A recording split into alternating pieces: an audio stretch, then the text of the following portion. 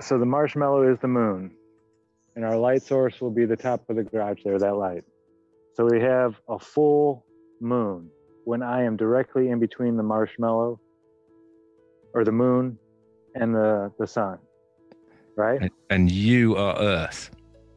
Yeah, I am Earth. Now, if I move it over this way, part of the marshmallow, we'll say it's a gibbous now because part of it is being shadowed.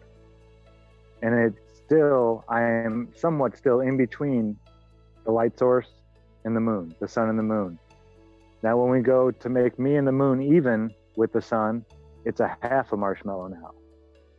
So, as long as I am in between the moon and the sun, it should be bigger than half a marshmallow or half a moon, always, whenever I'm in between it.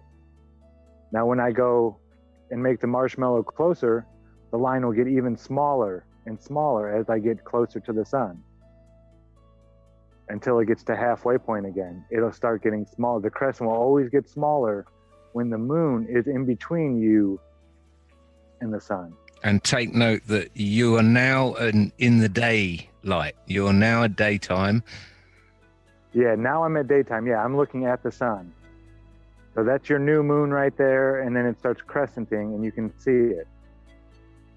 And that's all you should ever see. When So the moon- crescent always happens. Yeah, the crescent always happens during the daytime. It's should. during the daytime and round Once the it hits back. 50, you can never see it at midnight. What I need you to do now, what. I need you to do is do a waltz around the light while you are, um, yeah.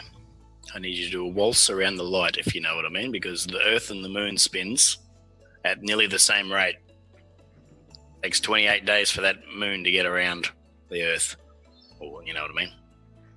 So that's the bit that I'm I'm trying to get my head around is that bit, because you're doing it in, you're doing a whole month in a in a turnaround there.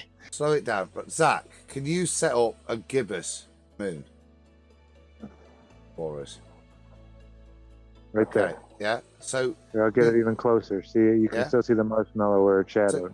you can see, look, Rob, that that That's daylight. That's daylight, and he's got one, hasn't he? no, no, that's the that's the. no, I'm that's, facing away. That's So away in be- from I'm daylight. It- in it- between. Can you see where his head's facing? His head, i.e., the position of the Earth where he is on the Earth, means it's night Yep. time. Yep. So he can Yep. see. Right now, keep the moon, the marshmallow, where it is, and what Zach's gonna do is turn his head around like he's possessed, so it becomes daytime for him.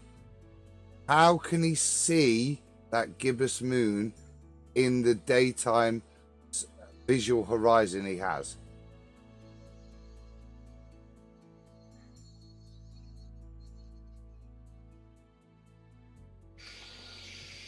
Bring it, bring it, uh. bring, bring the marshmallow back round to you now, Zach, and look what happens to the marshmallow.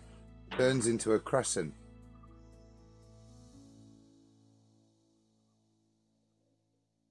Now, if if he turns his head to midnight and leaves it in the crescent, how can he ever see that crescent at night? Yeah, all right. Right. We did that? all those freaking Yeah, slides, and we only needed a marshmallow. That's class, Zach.